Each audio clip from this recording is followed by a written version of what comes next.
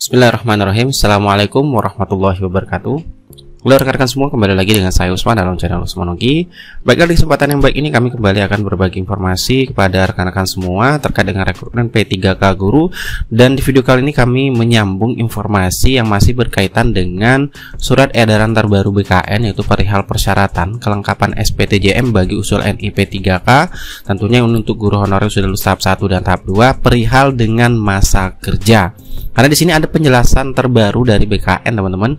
Sebenarnya ini sudah kita bahas juga di video sebelumnya terkait dengan surat edaran ini yang berkaitan dengan Kemenpan RB 981 tahun 2021. Namun di sini ada informasi terbaru yang kami dapatkan dan ini kami kutip dari media gpnn.com yaitu berjudul penjelasan BKN atau kepala BKN soal masa kerja dalam penetapan NIP P3K dan di sini guru honorer itu harus paham.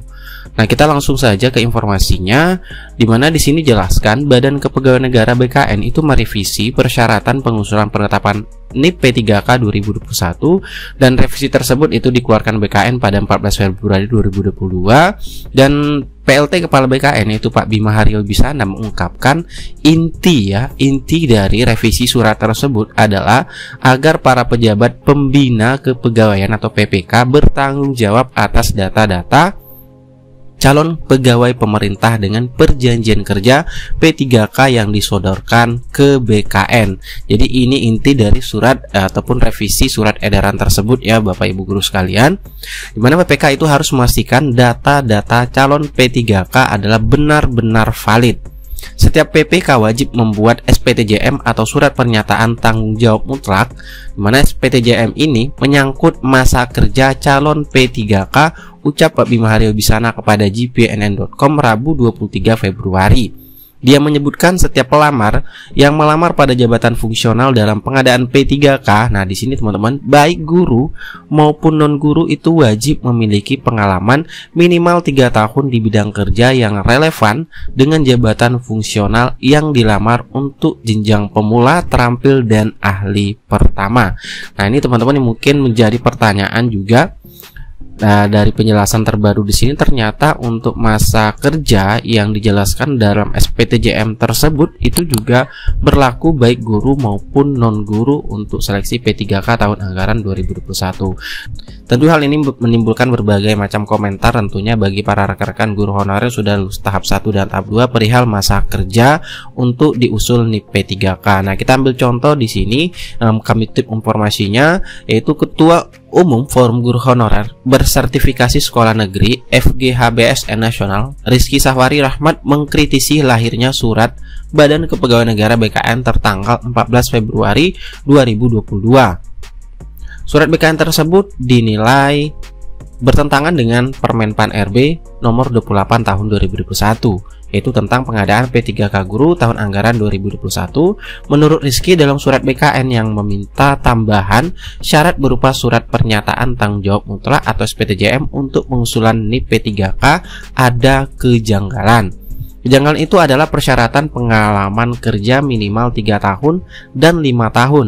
Sementara dalam Permenpan RB nomor 28 tahun 2021 itu tidak ada ketentuan pengalaman kerja bagi para peserta seleksi P3K di mana Permenpan RB hanya mengatur itu masa kerja minimal 3 tahun untuk mendapatkan afirmasi bagi guru honorer. Dari surat BKN ini sangat bertentangan dengan regulasi sebelumnya Permenpan RB nomor 28 tahun 2021 kata Rizky kepada GPN.com Kamis 24 Februari. Selain itu Rizky juga mengulik isi Kemenpan RB nomor 981 tahun 2021 tentang syarat tambahan untuk jabatan fungsional guru atau P3K yang sudah kita bahas di video sebelumnya ya teman-teman silahkan dicek videonya. Kemudian Regulasi tersebut dijadikan dasar BKN untuk menetapkan syarat pengalaman kerja bagi P3K guru dan non-guru. Hanya dalam lampiran Kemenpan RB tersebut tidak ada jabatan fungsional guru. Sangat aneh, kata Rizky, kalau BKN memukul rata persyaratan SPTJM berdasarkan masa kerja tersebut untuk P3K guru juga. Saya mendukung upaya BKN untuk menghalau masuknya peserta yang tidak memenuhi ketentuan menjadi P3K guru. Namun, mengapa baru sekarang diinformasikan ucapnya? Dia menegaskan saat seleksi P3K guru tahap 1 dan 2, Panselnas mengizinkan guru honorer, guru swasta, lulusan PPG, bahkan yang belum pernah mengajar untuk mendaftar. Setelah mereka lulus, kemudian muncul surat BKN yang akan berpotensi menghalau mereka. Dengan kebijakan ini sudah bisa dipastikan banyak calon P3K guru tahap 1 dan 2 yang statusnya TMS alias tidak memenuhi syarat cetusnya. Memang, tambah rizki jumlah guru honorer yang masa kerjanya di atas 3 tahun jauh lebih banyak.